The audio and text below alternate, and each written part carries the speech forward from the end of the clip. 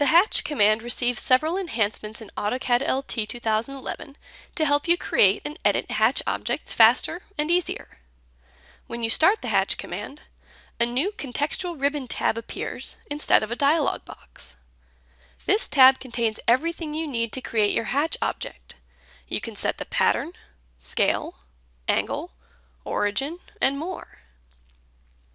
When using the Pick Points method, a new preview function enables you to see what the hatch would look like before you click. You can also see the result of each click as you pick points or objects in the drawing. Keep in mind that even though it looks as though a hatch was created as you clicked, it will not actually be a separate object unless you have the Create Separate Hatches option on. AutoCAD LT 2011 continues to expand object grip functionality with a new center grip for direct manipulation of hatch objects. When you hover over the grip, a menu appears with options to change the origin, angle, and scale of the hatch directly without going through a dialog. You can either choose an option from the list or left click on the grip and use Control to cycle through the different behaviors.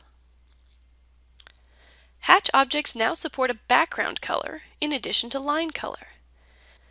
This enables you to have the effect of layering hatches in a single object. You also have the option to set a hatch's layer as you create it.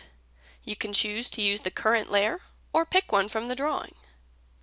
The hatch layer setting is persistent in a drawing session, making it easy to place all your hatches on the correct layer.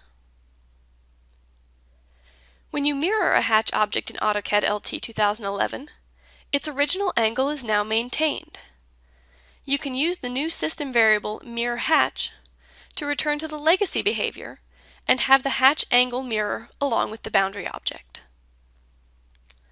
The last improvement to hatching is straight from the AUGI wish list. A new option in the Draw Order flyout on the Modify panel of the Home tab is Send Hatches to Back, which places hatch objects under all other geometry in the drawing. Along with Bring Text to Front and Bring Dimensions to Front, Send hatches to back is one more way to gain control over the appearance of your drawing.